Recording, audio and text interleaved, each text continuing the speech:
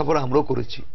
তো এখন উনি যে কথা বলেছেন, তাহলে যে বারবার যে এই ট্রাইব্যুনাল নিয়ে যে প্রশ্ন সৃষ্টি হচ্ছে, ওনার কথা তো সেটা আরও বেশি প্রমাণ করল। কারণ আওয়ামী লীগের উনি সাধারণ সম্পাদক এবং এলজিআরডি মন্ত্রণালয়ের বিরাট দায়িত্ব রয়েছেন। উনি যদি বলেন যে সবারই ফাঁসি দিয়ে দেওয়া হবে, তাহলে কি আমি এটা ধরে নিতে পারি যে ওনার বক্তব্য এটাই তো প্রমাণ তাহলে উনি কোর্টে আদালতকে যা নির্দেশ করে আদালত তাই করবে?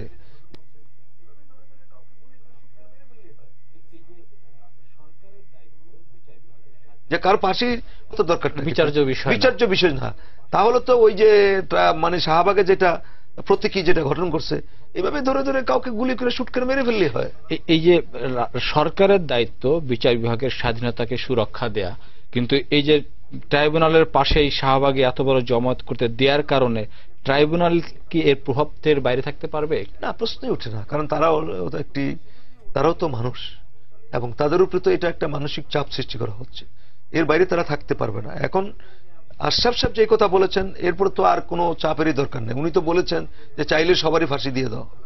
তো ফাঁসি যদি উনি দিয়ে দেন, তাহলে এই বিচার আর এই এত দীর্ঘ কার্যক্রমের দরকারটা কি? তাহলে তো মানে একজনকে ধরে ধরে নিয়ে ফাঁসি দিলি হয়। এখন সেদিন তো দেখলাম ওই যে যে চিটাঙ্গে দেখলাম যে ধরে নিয়ে থানায় চোখ কুপিয়ে ফেলে হত্যা করা হয়েছে এবং মাথায় পিস্তল ঠেকিয়ে গুলি করা হচ্ছে। এবং নারায়ণগঞ্জে দেখলাম যে খুব কাছ থেকে পায়ের মধ্যে গুলি করে আপনাকে আহত করে দেওয়া হচ্ছে মানে এবং আহতদের চিকিৎসা করার কোনো ব্যবস্থা করা হচ্ছে না ফেলে রাখা হচ্ছে যাতে ওইভাবে মারা যায় কিনা।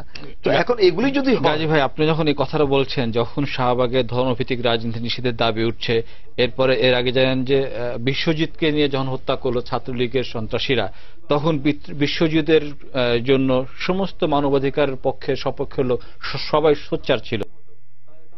কিন্তু চট্টগ্রামে যখন পুলিশ হেফাজতে হত্যার পর যখন লাশের চোখ উপড়ে ফেলা হলো, তার ব্যাপারে কোনো কোথাও প্রতিবাদ হলো না। তাহলে কি এই দেশে মুসলমান হিসাবে মৃত্যুবরণটা করা তার অপরাধ ছিল? সে যদি বিশ্বজিৎ বা নন মুসলিম হতো, তাহলে তার পক্ষে মানবাধিকার গোষ্ঠী অনেক মানে উত্তুঙ্গ আওয়াজ তুলতো। না, আপনি ঠিকই বলেছেন। দেখেন, আমাদের মানবাধিকার সুশীল কিছু সংগঠন তো আমরা দেখি যে বিশেষ সময়ে সময়ে তারা আবির্ভূত হয় এবং বিশেষ কিছু এজেন্ডা নিয়ে আবির্ভূত হয়। সকল সময়ে কিন্তু তারা কথা বলে না। যখন একজনকে ধরে নিয়ে থানায় চোখ উপড়িয়ে ফেলে এখানে কিন্তু করা হয়। এবং লাশের অবমাননা জানাজা করতে যখন দেখা যে একজনকে ধরে মাথায় পিস্তল থেকে গুলি করা হচ্ছে তখন কিন্তু সেটা মানবাধিকার প্রশ্ন আসে না। যখন একজনকে খুব কাছ থেকে পায়ের মধ্যে গুলি করে ইয়ে করা হচ্ছে দূর থেকে গুলি করে সেটা একদিন। কিন্তু কাছে এসে তারপরে ধরা পড়ার পরে তার পায়ের মধ্যে গুলি করে দেওয়া এগুলি যখন করা হচ্ছে তাও আইন শৃঙ্খলা রক্ষাকারী বাহিনী। আবার তারা বলে যে আমাদের উপরে হামলা হয়। এখন এইভাবে যদি কারও পিস্তল ঠেকিয়ে গুলি করে মাথা খুলি উড়িয়ে দেয় আর চোখ উপড়িয়ে ফেলে, তাহলে আরেকজনের তো প্রতিক্রিয়া হতেই পারে। তো সেখানে মানবাধিকার প্রশ্নগুলি আসছে না কেন? আজকে আশরাফ সাহেব যে কথা বলেছেন যে চাইলে সবার ফাঁসি দিয়ে দিব আমরা, তাহলে তো এই বিচার প্রক্রিয়া নিয়ে তো প্রশ্নটা তাহলে উনিই তো তৈরি করে দিচ্ছেন। এবং এর আগে আমাদের স্বরাষ্ট্রমন্ত্রী মিশর গিয়ে বললেন, কোন কোন তারিখে জাজমেন্ট হবে? এবং সেই তারিখে কিন্তু জাজমেন্ট হলো। আমি জানি না, ওনার পরবর্তী তারিখও ঠিক থাকবে কিনা। তার মানে এই বিচারও ঠিক করে দিচ্ছেন ওনারা। কোন দিন রায় হবে সেটাও ঠিক করে দিচ্ছেন। এবং সবটাই কিন্তু ওনারা ঠিক করে দিচ্ছেন। এখন আইনও তারা প্রয়োজনে প্রয়োজনে পরিবর্তন করে সেটাও ঠিক করে দিচ্ছেন। গ- গতকালকে জানেন যে রাজধানীতে আঠারো দলের পূর্ব নির্ধারিত জনসভা ছিল কিন্তু জনসভা করার মঞ্চ নির্মাণের অনুমতি দেয়নি পুলিশ। কিন্তু পুলিশ ঠিকই Shahbag elephant road VIP road এই রাস্তাগুলো সুরক্ষা দিয়ে শাহবাগের ওদেরকে সমাবেশ করার সুযোগ দিয়েছেন।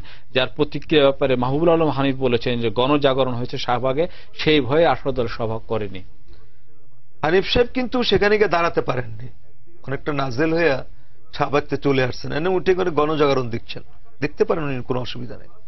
কিন্তু এই গণজাগরণের মধ্য দিয়ে শহরের একটি প্রাণকেন্দ্র এবং দুটি হসপিটালের মাঝখানে তিনি যে গণজাগরণ ঘটাইলেন একদিকে রুগীদের দুর্ভোগ হচ্ছে চিকিৎসা ব্যবস্থা বিভিন্ন পত্রিকা নিউজগুলো এসেছে। এবং ঢাকা শহর কিন্তু কলাপস হয়ে গেছে। কালকে আর শাহবাগ না হয় যদি মতিঝিল সাপ্লা স্কোয়ারে যদি আরেকটা গণজাগরণ ঘটে তখন তিনি কিন্তু একই কথা তাকে বলতে হবে। নাকি অন ভিন্ন কথা বলবেন? একদিকে তিনি গণজাগরণ জন্য রাস্তা বন্ধ করে মানুষের দুর্ভোগের শিকার হচ্ছেন সেটাকে তিনি গণজাগরণ বলছেন। আরেকদিকে যারা তাদের গণতান্ত্রিক অধিকার আদায়ের জন্য সমাবেশ করতে চাচ্ছেন সেটা ওই কারণে দেওয়া হচ্ছে না। তাহলে আরেকজন লোক যদি অন্য কোনোথায় যদি একটা মঞ্চ বানিয়ে এইভাবে বসে, এই এই সুযোগ- এই সুযোগটা কিন্তু বর্তমান সরকার করে দিল, যে এইভাবে মঞ্চ বানিয়ে বসে থাকা যায়, অবস্থান করা যায়, এই সুযোগটা করে দিয়েছে। হ্যাঁ এটা আমরা অতীত দেখছি, জনতার মঞ্চ হয়েছিল ঘটনা আমরা আগেও দেখেছি।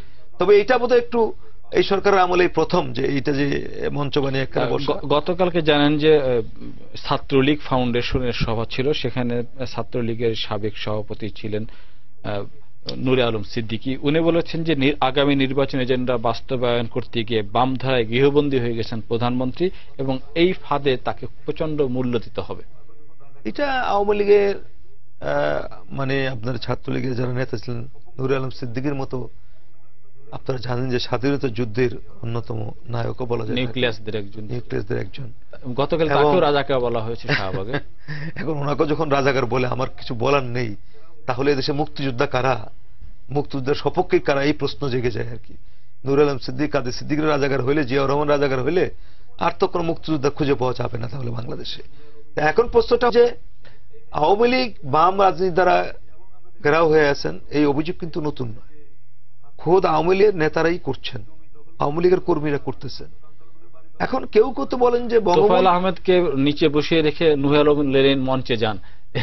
এটা তো এই দৃশ্য তো আমরা দেখতে পাচ্ছি এবং আমরা দেখেন একটি পত্রিত লেলিন সাহেবের যে আপনার মুন্সিগঞ্জে কত কি কি জমি দখল করছে। সংখ্যালঘুদের বাড়ি দখল। এবং কি কি আরও দখল করতে চান সেই সব সচিত্র প্রতিবেদন কিন্তু পত্রিকা ছাপা হয়েছে। এবং আপনি দেখবেন যে এই যে আপনার বঙ্গবন্ধুর সময় কিন্তু এই কথা তো আছে যে বঙ্গবন্ধু কিন্তু বামপন্থীরাই ডুবিয়েছে এবং বর্তমান প্রধানমন্ত্রী ঘাড়েও বামপন্থীরা শহর হয়েছে। এটা আমার কথা না। এটা ছাত্রলীগের প্রাক্তন নেতারা এবং আওয়ামী লীগের বর্তমান নেতারাও কখনো প্রকাশ্যে কোনো অপ্রকাশ্যে এই কথাগুলি তারা বলছেন। তারা মনে করেন যে তারা এখন আর মানে বর্তমান আওয়ামী লীগে তাদের কোনো অবস্থানটা নেই। বরং বামরা এসে এটাকে দখল করেছে। এই কথা তারা বলেন। জানি না এর শেষ পরিণতি জানেন যে বাংলাদেশে ভোটের হিসাবে কমিউনিস্টদের ভোটের যে প্রাপ্তি সেটা খুব ত্বরান্বিতে ভোটে তাদের সুযোগ না থাকার কারণে কি তার রাজপথে এরকম মঞ্চ করছেন কিনা? না তারা তো আসলে নিজেদের অস্তিত্ব নিয়ে রাজনীতি করে বা তারা নিজেরা স্ব মার্খায় দাঁড়িয়ে কোনো সিট পাশ পাবেন না বলেই তারা আওয়ামী লীগের কাঁধে ভোর করেছেন। যে আওয়ামী লীগের নৌকা প্রতীক নিয়ে তারা বিভিন্ন জায়গায় নির্বাচিত হয়ে গাজী ভাই খুব সংক্ষেপে বিশেষ করে যেহেতু আপনি বিএফএজের নেতা এবং আজকে দশই ফেব্রুয়ারি আগামীকাল এগারো তারিখ আমাদের বন্ধু সহকর্মী সাগর রুনির মৃত্যুর এক বছর পূর্তি হতে যাচ্ছে। তা এগারো তারিখে একটা কর্মসূচিও আছে সাংবাদিকদের পক্ষ থেকে। তা এই হত্যাটার রহস্য উদ্ঘাটনে সরকারের ব্যর্থতা সাফল্য কীভাবে দেখছেন? সরকার। চরমভাবে ব্যর্থ হয়েছে। আমরা এক বছর ধরে আন্দোলন করে আসছি। আগামী এগারো তারিখ আমাদের মহাসমাবেশ আছে জাতীয় প্রেস ক্লাবে। আমি সকল সাংবাদিককে উদাত্ত আহ্বান জানাব সেখানে অংশগ্রহণ করার জন্য। আমরা পরবর্তী কঠোর কর্ম সেখানে গ্রহণ করব। সরকার এই পর্যন্ত শুধু তালবাহানা করেছে, বিভিন্ন নাটক সাজিয়েছে। বাস্তবে সাগরণী হত্যাকারী গ্রেপ্তার করার জন্য কোনো পদক্ষেপ নেই। আমরা জানি না, আমাদেরকেও শাহবাগের মতো আবার সে মঞ্চ তৈরি করতে হবে কিনা, এই হত্যা রহস্য উদ্ঘাটনের জন্য। কারণ এখন তো আর মঞ্চ না তৈরিলে অবস্থান না করলে, সারা রাত না থাকতে পারলে বোধহয় আর কোনো গতি হবে না। এটাই হচ্ছে অবস্থা। ধন্যবাদ গাজী ভাই এত রাতে দিগন্ত স্ট্রিতে সময় দেওয়ার জন্য। প্রিয় দর্শক আজ আমরা যখন আলোচনা করছি শাহবাগের এই গণজাগরণ থেকে যে দাবি উঠেছে যুদ্ধাপরাধীর বিচার আমরা সকল অপরাধের বিচার শুধু না ন্যায় বিচার চাই। আর একই সাথে যখন ধর্মভিত্তিক রাজনীতি নিষিদ্ধের দাবি উঠেছে তখন ধর্ম বিশ্বাসী হিসাবেই আমাদের এর প্রতিবাদ করতে হয়। এদেশের পতাকা এদেশের স্বাধীনতা এদেশের প্রতিটি নাগরিকের জন্য প্রতিটি বিশ্বাসীর জন্য। এদেশের জনসংখ্যা এখন ষোলো কোটি। ষোলো কোটি হাত মানে ষোলো কোটি মানুষ মানে বত্রিশ কোটি হাত। বত্রিশ কোটি হাত ধরেছে একটি পতাকা, যেন একটি বৃক্ষকে ধারণ করে আছে বত্রিশ কোটি শিকড়। কারও সাধ্য নেই এই বৃক্ষের শেকড়ে হাত রাখে। সবাইকে ধন্যবাদ। সবাই ভালো থাকুন, সুস্থ থাকুন, নিরাপদে থাকুন। আল্লাহ হাফেজ।